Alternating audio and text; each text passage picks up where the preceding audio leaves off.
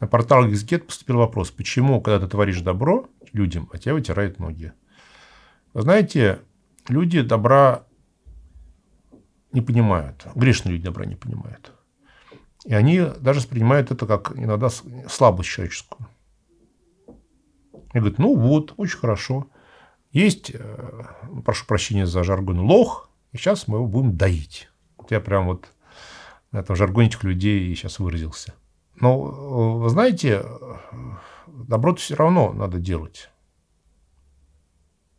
Потому что э, вот эти люди, которые так рассуждают, как я сформулировал только что, они же несчастные люди. Они счастья не знают.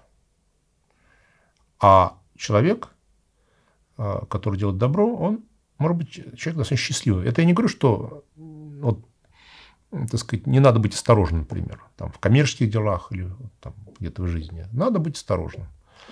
Это не всякое сомнение. Но не бояться делать добро. Пусть рассуждением, а, но не бояться делать добро. Конечно, вот если человек явно такой, а, ну, сомнение в честности, может, стоит становиться ли у него поручителем в банке или там что-то вот, что связано с деньгами, потому что все равно можете обмануть и потом поставить тебя ну, в тяжелое такое состояние материальное. Вот. Но а, вот, вот, вот так мы не обя... такое добро мы не обязаны делать. Быть поручителем банка, банки за мошенников. А, но вот в принципе добро даже людям, которые это не ценят, все равно надо сделать. Более того, Господь, если ты это сделаешь, добро, и за, за это добро тебе не похвалит, а наоборот как-то похулит, он тебе больше благодати своей даст. Если ты будешь бороться своей обидой, обидой, вот ты сделал добро, тебе сделал зло, а ты будешь бороться с обидой, ты Бог почувствуешь. Ты почувствуешь Бога.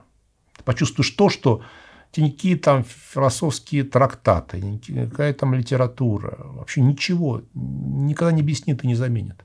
Ты почувствуешь Бога, ты почувствуешь удивительную радость. Вот мне один священник рассказывал, когда он был диаконом, ну, у него был конфликт там на пустом месте совершенно, как это сейчас бывает, а, с, с алтарником, который был старше такой. Вот как-то вот алтарник стал его немножко так, а, ну, так немножко ним потрунивать, ну, там, ну, какие-то вещи такие делать. Вот. И а, а, а ну, диакон был, так сказать, такой христиански настроенный, он стал за алтарником молиться, Христу молиться, сказать, хорошо, вот я, так сказать, удостоился, что меня тут сейчас немножко так вот начали, э, происходило все время службы, литургии, так сказать, и э, ну, преследовать, очень здорово, все при Евангелию, так вот восхитился. И когда он это как-то так подумал, то у него это была такая радость внутри, мне рассказывал, что он говорит, ну и подольше бы он меня так вот и гнобил бы чтобы только эту радость не, не потерять. Но не удалось ему такой подвиг пойти. Там это батюшка, который служил, увидел вот эту всю ситуацию, смотрел, смотрел, смотрел, смотрел, потом на этого алтарника поставил на место. Вот. И не удалось диакону, э, так сказать, и святых попасть. Вот. Вот. А, но он об этом жалел. Поэтому вот, пожалуйста, так сказать, когда э, человек э, делает добро получает зло, и потом все-таки остаться верным Христу, то очень важно, что остаться верным Христу в этот момент.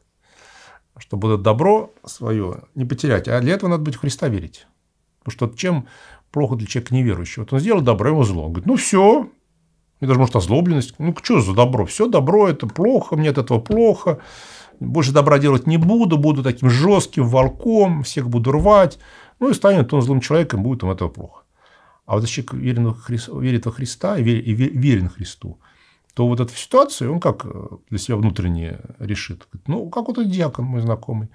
Хорошо, гонение или там еще что-то. И у него, так сказать, в результате будет э, не уныние, а радость. Вот. Э, поэтому вот этим смущаться не надо, но, повторяю, это только возможно, если ты веришь во Христа. Внеси свой вклад, оцени, подпишись и поделись этим видео.